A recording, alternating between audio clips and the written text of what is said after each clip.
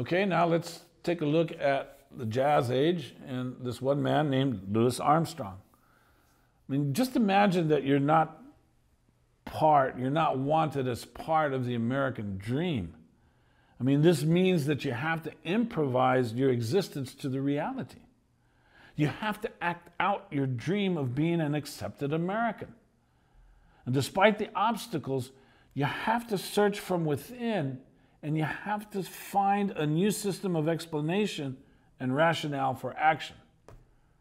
And this must be created self consciously. So, at one time, a highly recognizable individual, Louis Armstrong, established himself as one of his biographers wrote, as a brilliant soloist. He became a major musical innovator famous for his virtuosity and dynamic or rhythmic dynamism. He exhibited pure tone, dazzling speed, and imaginative variations that in many ways remain unequal today, according to Wynton Marsalis.